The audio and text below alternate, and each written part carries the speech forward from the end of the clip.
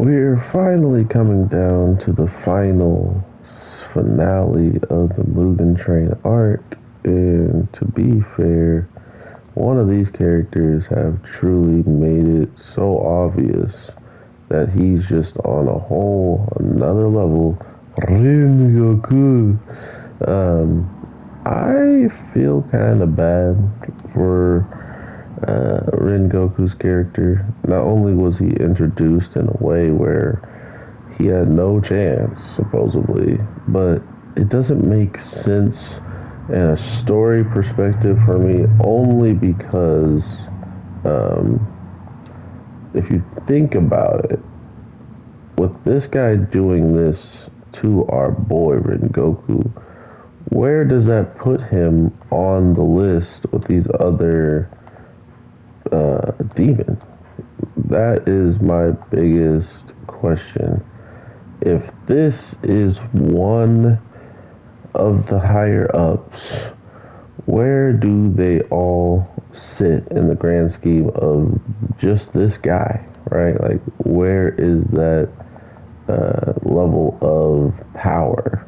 Because if the regeneration and the power says something here, is that dude really is ridiculous. Like, imagine if the fight actually played out the way that I'm making it look right now. Like, this would be would be ridiculous. Ridiculous. You see what I'm doing there? Like Ren Goku. Ren sorry.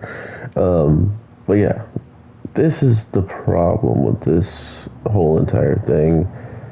Nobody, and I mean nobody, is guessing that Rengoku is just about to die, right? Like we've never met the dude, we just meet him, and the time we meet him, he gets absolutely destroyed by some random higher up demon that we've never heard of before. That is problematic.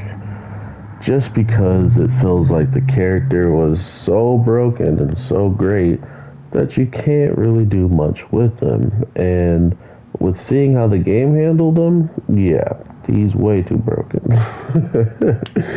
but to be fair, that's what these demon slayers are supposed to look to, uh, you know, the people who have just joined. They're not supposed to even have a chance against the power that they present.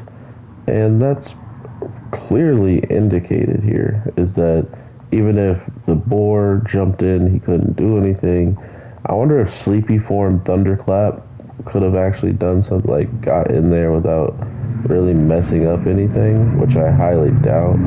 It's the only reason why I picked him over like Tanjiro and the boar was because, to be fair, Zenitsu feels like he's the only person who would have been able to land an attack quick enough to maybe help Rengoku out without necessarily getting himself completely and utterly destroyed in the same uh, mix. So we will have to see more that pops off with this show, but man, Mugen Train art still looked absolutely phenomenal. So I am not mad at the animation that we get, but I am a little disappointed in uh, you know, having this be practically just the same. They could have probably done a little bit more, but instead, the more that they did was like the talk with Inosuke was actually showing Zenitsu laid out with like three super hot chicks. Like there was a lot of random stuff that wasn't necessary, but makes sense because guess why? They need to put it there and have us not paying attention to what the movie is supposed to do, which is already should have been done by the amount of time they've gotten in these episodes, but makes sense because now Rengoku is just going to unleash his ultimate and practically be saved by the sunlight until he's not saved. So we'll see how the animation finishes. Usually it finishes very strong, but maybe that won't be the case because we did get a huge sneak peek at what all the higher up demons look like, that is the one huge difference that came out of this is seeing an actual image of every single demon was actually kind of cool. There's like someone in a jar. I think I'll put that as my profile, as a picture. One thing has been added, and it was more demons confirmed. well, with that being said, everybody, have an awesome one, and I'll definitely talk to y'all in the next one. Peace.